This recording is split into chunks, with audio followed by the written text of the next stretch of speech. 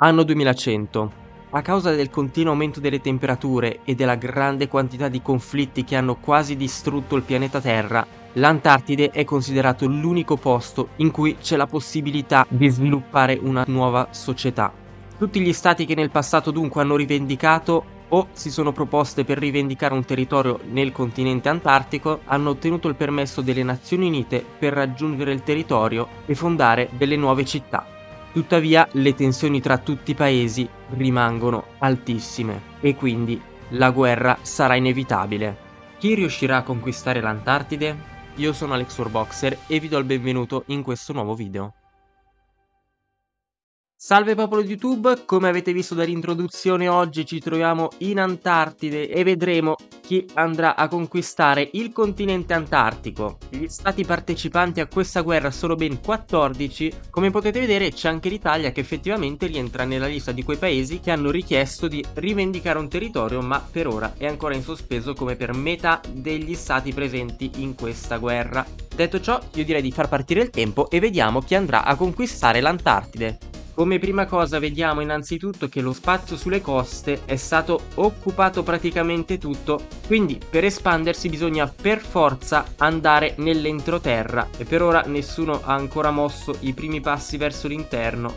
Ed ecco fondate le prime colonie, avanzano Regno Unito, Argentina, Spagna e Norvegia. Avanzano anche gli Stati Uniti che ovviamente non vogliono perdere troppo terreno, Avanza anche il Brasile verso il centro, Italia che per ora non ha ancora mandato nessuno, lo spazio sta rimanendo sempre di meno, ovviamente se non si colonizza si rischia poi di rimanere senza territori, avanza anche la Nuova Zelanda, segue il Sudafrica, spazio che sta diminuendo sempre di più, la Russia occupa un altro territorio, ora rimane solo questo piccolo spazio al centro-centro. Vediamo se qualcuno si muoverà per conquistarlo prima che si espandano troppo gli altri stati.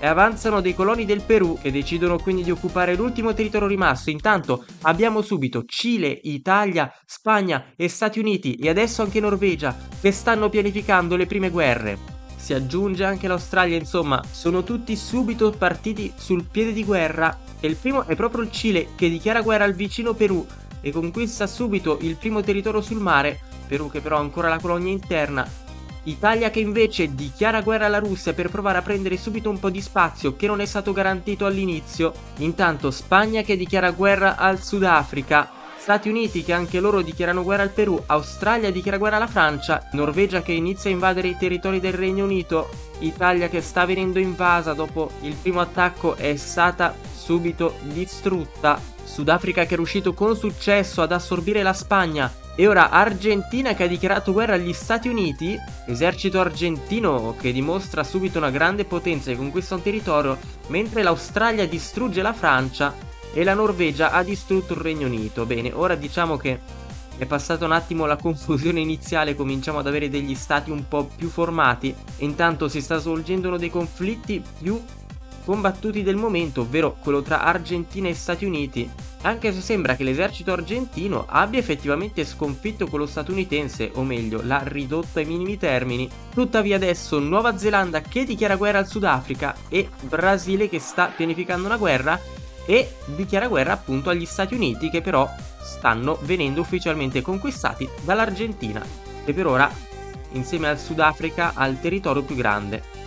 Tuttavia però il Sudafrica sta venendo attaccato dalla Nuova Zelanda, quindi vediamo come andrà a finire. Va a finire che eh, l'esercito sudafricano ha distrutto l'esercito neozelandese. Quindi ora il Sudafrica possiamo dire che ha il territorio più grande di tutti, sembrerebbe, conta ben 6 insediamenti, mentre l'Argentina ne conta 5 e la Norvegia segue con 4. Vediamo da sud Australia che sta pianificando una guerra, così come la Norvegia da nord. La Norvegia che giustamente decide di spingersi ad attaccare il Brasile che conta solo due insediamenti e un esercito abbastanza ridotto. Esercito brasiliano che riesce a conquistare un territorio? No ne perde uno, ora è rimasto solo con un territorio, anzi ora è riuscito a conquistare quello che era rimasto incompleto. Intanto Australia che si mette contro la grande potenza sudafricana e anche la Russia adesso sta pianificando una nuova guerra. Esercito brasiliano che combatte per la libertà. mentre l'esercito norvegese spinge a conquistare gli ultimi territori brasiliani e la Russia decide di unirsi proprio contro il Brasile vista la grande difficoltà dei sudamericani, ma continua lo scontro tra Australia e Sudafrica molto combattuto, continuano a conquistarsi territori a vicenda, tre rimasti al Sudafrica, no scusate, tre rimasti all'Australia e cinque per il Sudafrica Brasile che sta venendo conquistato completamente dalla Norvegia. Intanto adesso l'Argentina ha deciso di dichiarare guerra alla Russia. Brasile che sta venendo invaso dalle ultime armate russe e norvegesi, anche se ormai quelle russe sono impegnate contro l'Argentina. In realtà la Norvegia è rimasta senza esercito, quindi ho detto una bugia.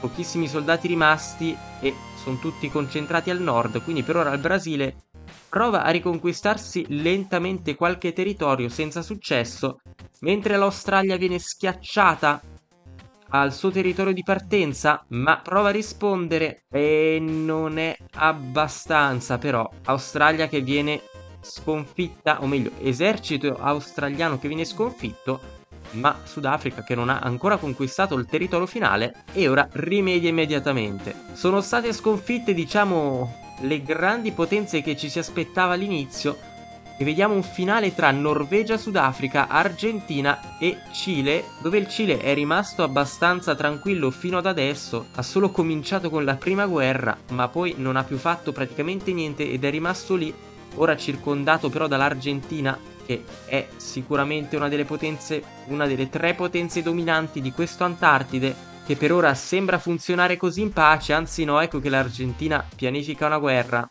e sono abbastanza sicuro che andranno ad appropriarsi del territorio cileno, vista la comodità e la scarsità dell'esercito, o meglio, più che scarsità dell'esercito, per la superiorità del loro esercito. E invece no, Argentina che dichiara guerra al Sudafrica. Una mossa inaspettatissima vista la potenza di entrambi gli stati, ma vediamo ora la Norvegia perché sta pianificando una guerra, vediamo contro chi si unirà, a meno che decida di andare ad attaccare il Cile, ma probabilmente andrà ad attaccare uno dei due stati adesso in guerra. Sudafrica che sta venendo schiacciato e Norvegia che dichiara guerra proprio al Sudafrica che però ormai sta venendo già invaso dall'Argentina, Norvegia che è riuscita ad appropriarsi comunque di un territorio, ma adesso la dominanza dell'Argentina è netta ed è assolutamente la grande favorita per vincere questa guerra, tuttavia sappiamo che le sorprese possono essere sempre all'ordine del giorno, andiamo a mandare un po' veloce, vediamo se qualcuno dichiarerà guerra adesso. Ed è proprio l'Argentina chiaramente a pianificare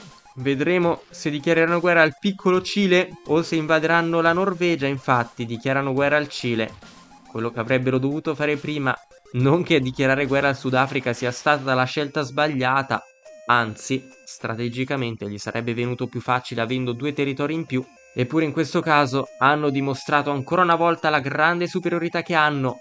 E adesso ci prepariamo al grande scontro tra Argentina e Norvegia dove l'Argentina chiaramente ha un esercito doppio rispetto ai norvegesi, per cui direi che possiamo andare a mandare veloce, comincia la guerra, vediamo subito sia Norvegia che Argentina che invadono i territori, esercito norvegese che ha provato a conquistare diversi territori ma ha ricevuto una grande risposta dall'esercito dei sudamericani, possiamo vedere ora che la Norvegia è rimasta con solamente pochissimi insediamenti e diciamo che la guerra può terminare qua. Argentina che partendo senza i favori del caso ha distrutto tutti gli avversari è riuscita ad appropriarsi dell'Antartide. Detto ciò, io vi ringrazio per essere stati con me, se il video vi è piaciuto vi invito a lasciare like, commentare ed iscrivervi al canale.